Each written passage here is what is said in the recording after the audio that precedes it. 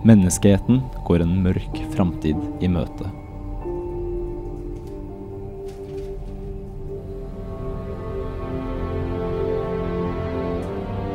Noen vil kanskje gå så langt som å si at evolusjonen er i ferd med å reverseres.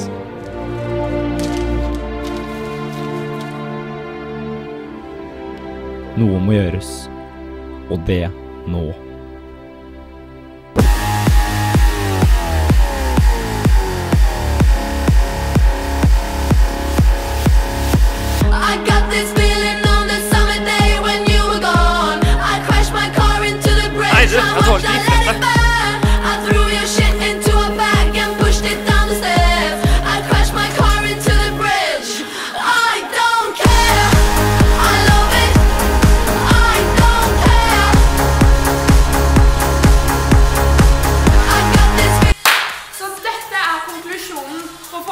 Don't cry because it's over.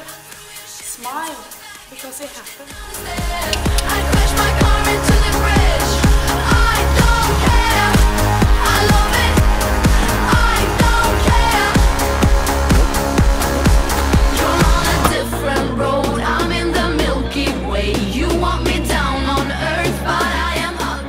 Unnskyld, kan jeg hjelpe deg med noe?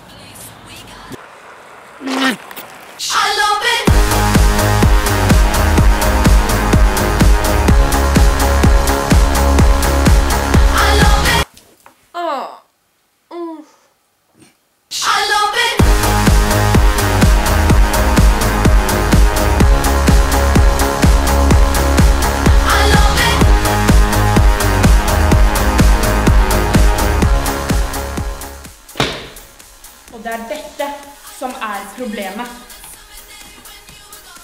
Men vi har en løsning, dere. Og her er svaret.